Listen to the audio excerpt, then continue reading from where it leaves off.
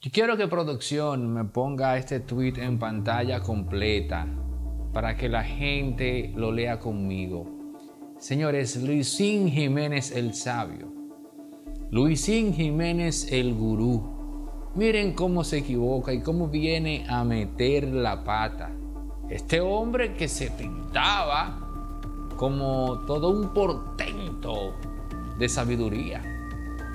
¿De qué forma tan infantil se deja meter al medio por Juan Carlos Wilbe y Alofoque y también por, eh, por el staff de Esto No es Radio? Déjame hacer el contexto antes de, de colocar esta joya, esta perla de tweet. Miren cómo se descubren a los, a los blogs, como le dicen. Miren, Juan Carlos Wilbe, no lo conozco, hace una intervención en Esto No es Radio, en donde, amén de hablar del tema de Manolo Zuna, también revela que se dieron negociaciones para ingresar al programa, al proyecto, a Luisín Jiménez. Y dice que Luisín se mostró muy interesado en el tema, pero que eh, luego el asunto no cuajó, pero ahí lo importante en su testimonio era que quedara claro que Luisín Jiménez en efecto tenía un interés en participar en un proyecto del edificio rojo, amén de estar en el mañanero con el boli. Ese es el dato importante. Entonces, con toda la malicia del mundo, el equipo de comunicación, de contenidos, bajo la dirección final de Santiago Matías, desde luego, para este caso, él estaba interesado. Yo no sabía eso, pero mentira. en eso. ¡Pan! Y le hacen una cobertura al tema. Lo postean por todas partes. Y el testimonio de Wilber diciendo que Luisín Jiménez quería coger para allá. Entonces, cuando eso se arma y sale la bomba, Luisín Jiménez responde, dando una respuesta totalmente, eh, yo diría que problemática. ¿Pero para quién? Para Santiago Matías, no. Una respuesta problemática para la propia armonía en el mañanero. Porque después de lo que acaba de hacer Luisín Jiménez, viene pleito entre él y Manolo Zuna. Ustedes saben que Manolo todo este tiempo ha manejado la versión de que él se fue de finanzas con humor. Una cosa es que él diga yo me fui y que Wilber diga que fue que él lo votó por el tema aquel de que pasó una línea roja. Ah, pero una cosa muy diferente es que un compañero de trabajo de Manolo Zuna diga lo siguiente. Pónganme el tweet ahí que lo voy a leer con ustedes, pero pónganlo en pantalla completa para que ustedes eh, escuchen esta perla y vean por qué es que yo digo que, metió la pata. Oigan, oigan esta perla. Juan Carlos es uno de los tipos que más me agrada y admiro. Con toda seguridad eso es mentira. Con toda seguridad eso es Luisín de fascineroso, eh, queriendo, como se dice por ahí, caer de simpático con el susodicho. Pero comienzo. Juan Carlos es uno de los tipos que más me agrada y admiro, farsante. El problema no es el programa. El problema es donde se graba el programa. Y para que no me pase como a Manolo, que de un pique lo votaron, oigan esto, y para que no me pase como a Manolo, su compañero, que de un pique lo votaron y le prohibieron la entrada, mejor decidí hace tiempo no entrar a ese prestigioso edificio. Hermano mío, señor sabiduría, usted no tenía que decir ahí que a su compañero de trabajo lo votaron. Estúpido. Porque tu compañero, la versión que maneja es que él renunció. Es más, Tú podías perfectamente decir, Señor sabio, ¿eh? Tú podías decir perfectamente, y para que no me pase como Manolo, que por un pique le prohibieron la entrada.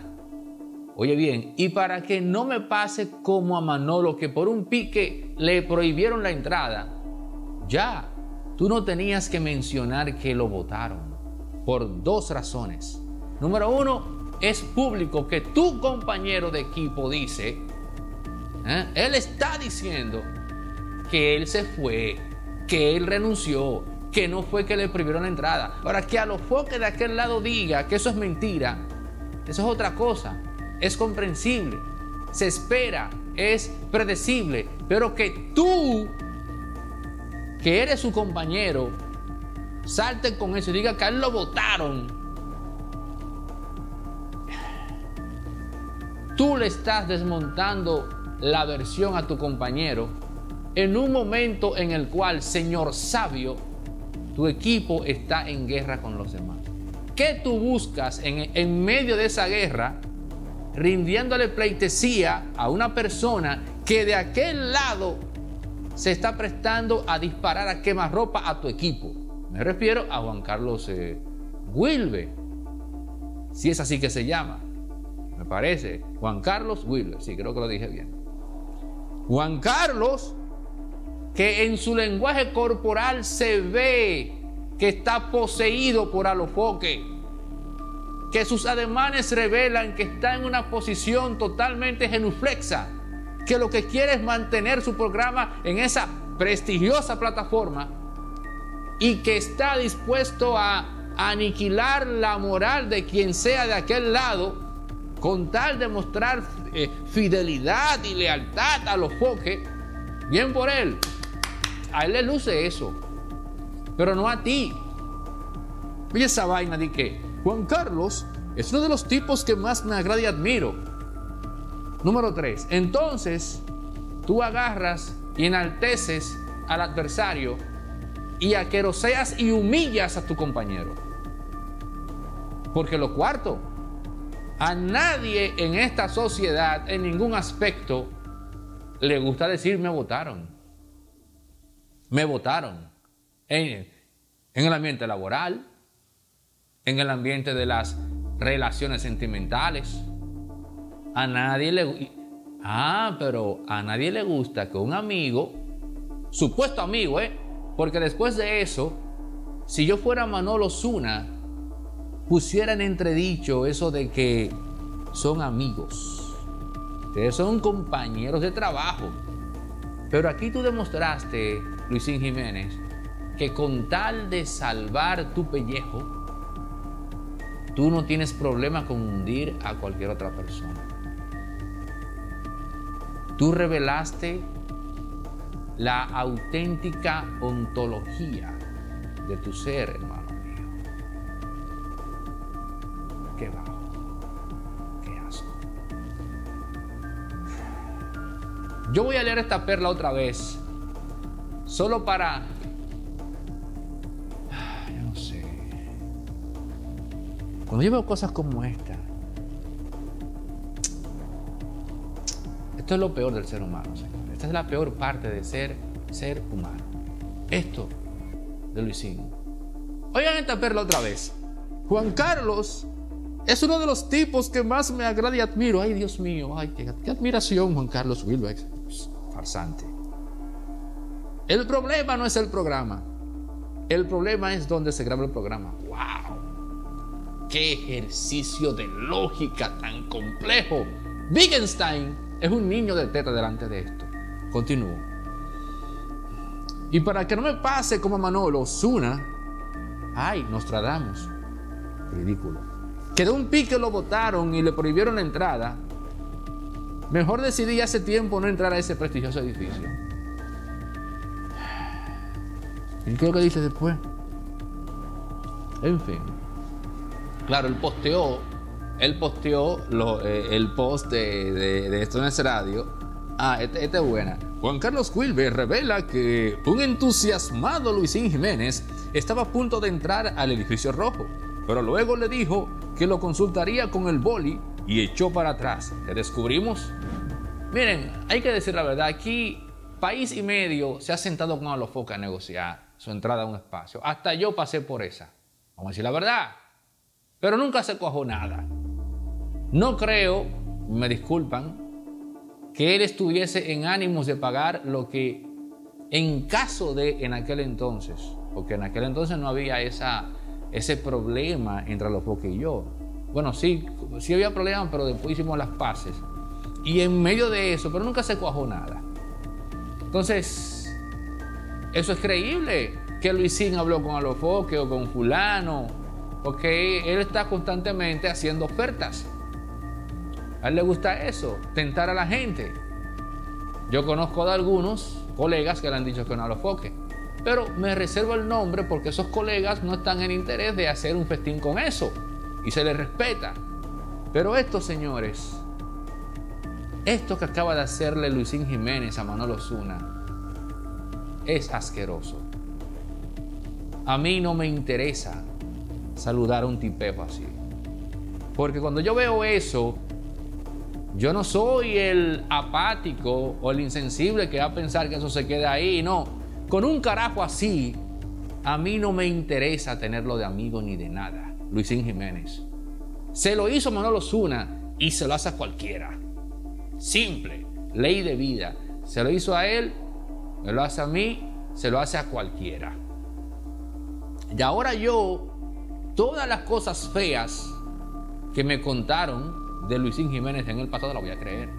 Después de esto, todas las cosas feas que me contaron de Luisín Jiménez las voy a creer. Un carajo así no me interesa darle la mano hacerle eso a un compañero de trabajo sin necesidad, cuando perfectamente él podía ponérsela incómoda a Juan Carlos Wilbe, sin necesidad de exponer a su compañero. De esa manera, más cuando el compañero públicamente ha dicho que a él no lo votaron, ¿por qué tú tienes que decir que a él lo votaron? ¿Por qué tú tienes que enaltecer al que te está, disparando? Explícame eso, señor sabio, señor dador consejos de vida, Luisín Jiménez. Óyeme, ya, me quité de ti. Te retiro mi amistad de por vida. Tu primer carro es posible con Centro Electronic RD, los pioneros en República Dominicana en vehículos eléctricos. Desastre de el consumo en combustible fósil y lleva, oigan esto que voy a decir, un consumo promedio de 10 o 15 mil pesos. Te puede quedar en un mes entre 500 y 1000 pesos si tu vehículo es eléctrico. Pero también Centro Electronic RD tiene eh, tiene una flotilla vasta, extensa de vehículos para fines corporativos y empresariales. Centro Electronic RD, tu primer vehículo eléctrico totalmente para que la factura del combustible no sea una carga. Y para las empresas, tenemos camiones, tenemos vehículos tipo deliveries, camionetas, en fin, para que también el costo en combustible en grado amplio no sea una carga. Centro Electronic RD, teléfonos en pantalla para más información. Si vas de parte de Impolíticamente Correcto, tienes un descuento de 500 dólares en cada compra. Señores, la farmacia Medicar GBC sigue con su 20% de descuento en todos los medicamentos abiertos de lunes a domingo.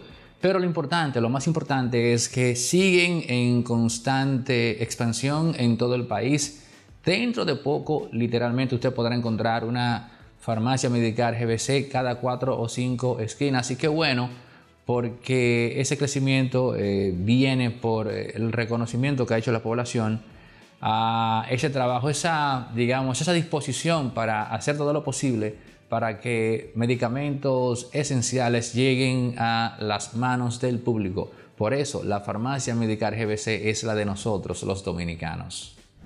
Yo me llamo Julia Altagracia Cristín. Yo nací en Alto Mayor del Rey, pero me quedé aquí en San Pedro. Yo me dedico a la venta de ropa. Bueno, yo antes de la clase en el colegio de USA.